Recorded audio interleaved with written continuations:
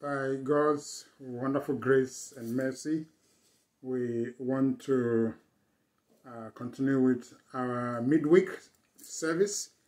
And uh, first, before we do the uh, continuation of the lesson we had last week, we've been having, I would like to add a quick, um, it's a reminder, it's also uh, to help us to be up to date because uh, it may appear that, um, well, uh, some of us need to hear it again because it helps us all uh, to be on the same page and that's very helpful for us all.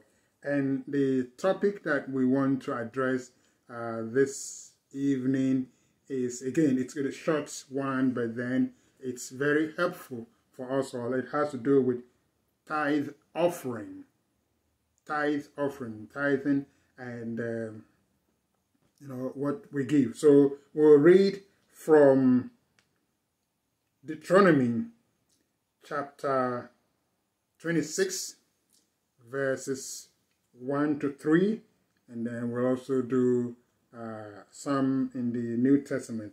Here is God's word. And uh, again, Deuteronomy 26, 1 and following. And it shall be when thou art come in unto the land which the Lord thy God giveth thee for an inheritance and possession and possess it and dwelleth therein, 2. that thou shalt take of the first of all the fruit of the earth, which thou shalt bring of thy land, that the Lord thy God giveth thee, and shall put it in a basket and shall go unto the place which the Lord thy God shall choose to place his name there. 3. And thou shalt go unto the priest that shall be in those days and shall and say, pardon me, unto him, I profess this day unto the Lord thy God that I am come unto the country where which the Lord swore unto our fathers for to give us. Amen. Deuteronomy 26, 1 to 3. And then let's uh, go to Exodus 22, 22 and 29, which says,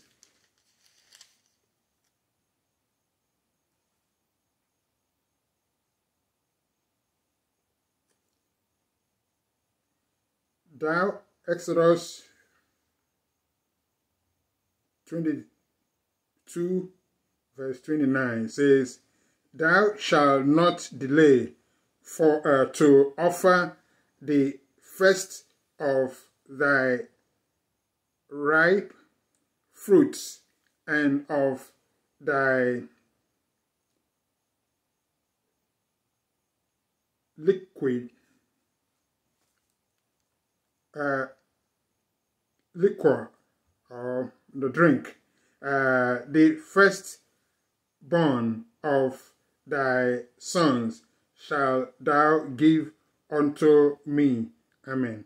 That is also a quotation from uh, Exodus 22, verse 29. And then we'll go to First Corinthians and uh, see what God has written to us. And it says First Corinthians chapter 9 and verse 13 to 15 says,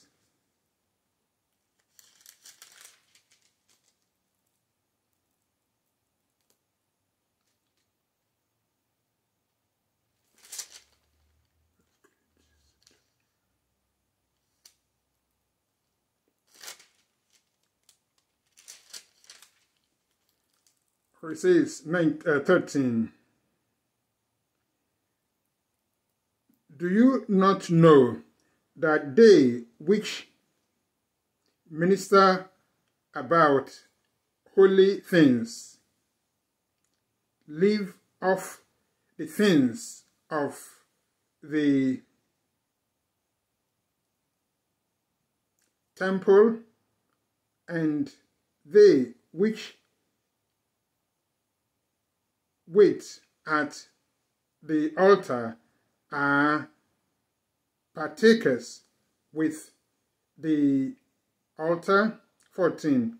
Even so hath the Lord ordained that they which preach the gospel should live off the gospel. 15. But I have used none of these things, neither have I written these things that it should be so done unto me, for it were better for me to die than that any man should make my glorify, glorying, uh, void, glorying. 16. I think we'll stop at 15. Uh, that's uh, 13 to 15 is what is being uh, provided to us. But the whole idea of this is to remind us that God gave instructions to the Israelites and the Israelites were operating under the Old Testament, and God instructed them to offer their tithe offering of 10% to the uh, to the temple, to the church, uh, you know, to the priests, so that they will be able to do their work. And that was in the Old Testament. The New Testament continues with the same. I think we read uh, a portion there. What happens in the New Testament is that we have better, uh, clearer understanding of what was given to the Israelites in the Old Testament. And so the New Testament is God's expanded uh, blessings upon us, uh, especially those of us who were not, you know, uh, Jews. And God has invited everyone to come into his kingdom, and yet he did not remove the tithe offering. The tithe offering is still there. And so sometimes we want to say, okay, well, it, in the Old Testament it was 10%. Fine, that is all right. In the New Testament, we say, okay, yeah, ten, uh, I will do the same, uh, you know, 6%. However, or is it 10%, whatever, uh, you know, percentage that is there, of course, it's 10%. Now, in the New Testament, one can say that I have received more blessings than those who were in the Old Testament and those who uh, received the gospel or the messages in those times. But in the New Testament, we have more blessings and more advantages. And so one may say that, well, instead of the 10% that we are required, everyone is required to offer to God. It's not being offered to the church. It's not being offered to the pastor. It's not being offered to anyone. It is God's commandment. It, in fact, we didn't read all the passages because it will be, there are so many passages. And if we go to Malachi chapter 3, 7 to 12, there are more information there. So it is not that when we give our tithe offering, we are giving it to the pastor, and the pastor will use it. You know, it is given to God. It is God's commandment. And when we are doing it because of God, God rewards us more. So anyone who thinks that, oh, it is because of the pastor I'm giving it, um, because of the pastor I'm not giving it. No, it is all God's commandment. It is not my personal uh, instruction, my personal command. No, it is all from God. So may the Lord help us so that what we give, we are giving it to God for His grace, His mercy, His blessing upon us, especially those of us in the New Testament. The Old Testament uh, people, you know, they gave. So it is not that we want to say something different. We are just trying to remind everyone that it is a requirement by God and it is given to God. And God is one who will reward us as we give. And so uh, some will say that, well, I want to know what the pastor is doing with the. Uh, no, it is God's commandment. It is in the Old Testament, it's in the New Testament. So may the Lord help us so that um, if we need more information or more clarification, it is not uh, whatever we want. The minimum is 10% for everyone, according to God's commandment. And the more information there in the scripture, and actually we do have a lesson that we made uh, sometime in January, and the lesson is online for anyone to review. So may the Lord help us and consider that it is God's commandment. We are doing it for God. And one other thing that we may add, if we have more than one church we attend, fine. One has to decide how you want to do it, uh, you want to uh, split it, but as long as we are giving, you know, and there are people who actually, uh, should I say, donate.